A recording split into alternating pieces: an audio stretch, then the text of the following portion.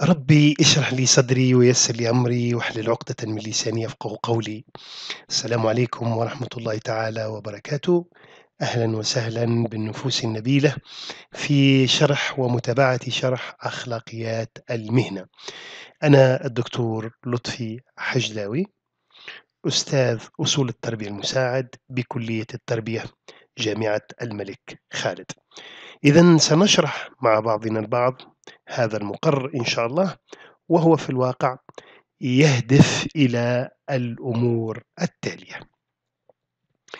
كما هو موضح على الشاشة فإن أهداف المقرر أولا هي تمكين الطالب من المفاهيم الأخلاقية الأساسية في المجال الوظيفي ثم تعرف الطالب على معنى أخلاقية المهنة وأهميتها الوظيفية والاجتماعية. إذا يتمكن من امتلاك المفاهيم الأخلاقية الأساسية ثم يتعرف على أهمية هذه المفاهيم. ثالثا الهدف الثالث تمكين الطالب من معرفة عميقة بأخلاقيات العمل في الإسلام تحديدا. ثم بعد ذلك تعرف الطالب على أخلاقيات العامل في الإسلام وسنضيف إليها أيضا أخلاقيات رب العمل في الإسلام. الهدف الخامس هو لهذا المقرر هو دراية الطالب الدقيقة بالميثاق السعودي لأخلاقيات مهنة المعلم. كما تلاحظون هذه الأهداف تبدأ من أهداف عامة نحو أهداف خاصة. المثلث المقلوب من العام في اتجاه الخاص إذا العام جدا هو المفاهيم الأخلاقية الأساسية في المجال الوظيفي الخاص جدا هو الميثاق السعودي لأخلاقيات مهنة المعلم. ثم أخيرا تعرف الطالب على أهم مفاهيم الجدل الفلسفي الأخلاقي الحديث. إذا هذه هي الستة أهداف لهذا المقرر مقرر أخلاقيات المهنة.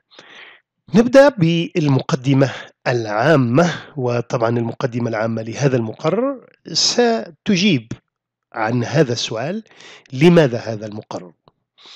أو ما الذي يبرر آه، تدريس هذا المقرر في الجامعات آه، في مختلف أنحاء العالم؟ في واقع الأمر أخلاقيات المهنة ما يسمى باللغة الإنجليزية work ethics بالفرنسية l'éthique de du travail l'éthique de la profession. لكن هناك كلمة أو مصطلح شائع في اللغة الفرنسية مصطلح أكاديمي يرادف أخلاقية المهنة هو la déontologie la déontologie إذا work ethics أو ال déontologie صارت لها أهمية عالمية بالغة لعدة أسباب. من بين هذه الأسباب أولا تزايد الاهتمام العالمي عموما بقضايا الأخلاق. هناك ارتفاع في منسوب الوعي العالمي آه، بأهمية الأخلاق وخاصة في مجال مسؤولية الإنسان على ما يحدث في البيئة. قصة البيئة هذه قصة خطيرة جدا ومهمة جدا في عصرنا الراهن البيئة تعني المستقبل البشرية مستقبل الحياة. فهي إذا مسألة حساسة جدا. فعلاقة الإنسان بالطبيعة آه، صارت اليوم في حاجة إلى أخلاق توجه هذه العلاقة. يعني آه، سابقا آه، كان علاقة الإنسان بالطبيعة هي علاقة استغلال واستنزاف وعلاقة سيادة منذ الحداثة يعني منذ القرن السابع عشر والثورات الصناعية إلى غير ذلك. إلى اليوم هي علاقة آه، شئنا استغلال واستثمار لصالح الإنسان دون وعي بالمخاطر المترتبة على ذلك. اليوم لابد من إيجاد قواعد آه، أخلاقية توجه آه، هذه العلاقة وإلا فإن مستقبل البشرية آه، يصبح مهدد. فإذا الإنسان المعاصر استيقظ على أهمية إيجاد قواعد أخلاقية في استثماره واستغلاله للبيئة. هذا يدل على أهمية موضوع الأخلاق اليوم. كذلك السبب الثاني وراء اهتمام العالم بال work ethics ولا la déontologie ولا أخلاقية المهنة هو انتشار مفهوم الجودة.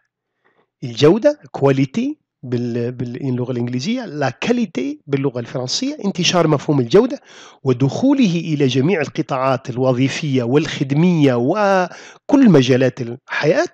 يعني تقريبا يعني نستطيع أن نقول إنه يعني هاجس المجتمعات المعاصرة الهذيان المعاصر بمصطلح الجودة.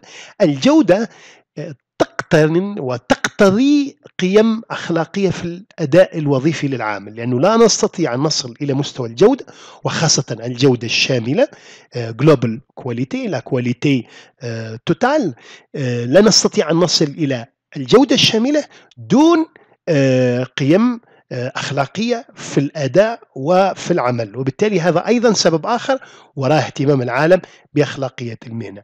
السبب الآخر أو الثالث آه، للاهتمام تزايد الاهتمام العالمي بأخلاقية المهنة هو ظهور إشكاليات جديدة وشديدة التعقيد في الممارسات المهنية سواء المهن ما يسمى بمهن المستقبل أو المهن الجديدة أو حتى المهن التقليدية فمن ذلك مثلا آه، تخصصات في تخصصات حساسة مثل الأخلاق الطبية أخلاق القضاء أخلاق الهندسة.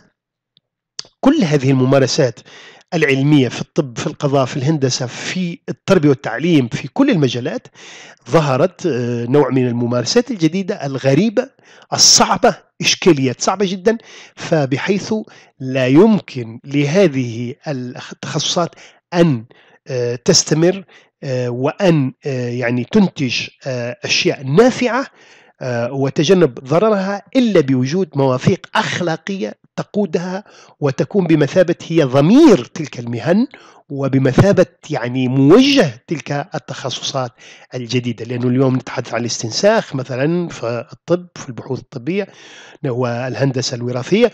نتحدث كذلك مثلا عن قضايا ال ال مثلا الموت الرحيم آه، نتحدث كذلك عن التلوث البيئي أو الانحباس الحراري أو آه، اللي هي أيضا مربوطة بالصناعة وبالمهن الصناعية فكل نتحدث عن قضايا في القضاء يعني آه، على درجة كبيرة جدا من التعقيد فالحرب الحروب العادلة ما يسمى بالحرب العادلة.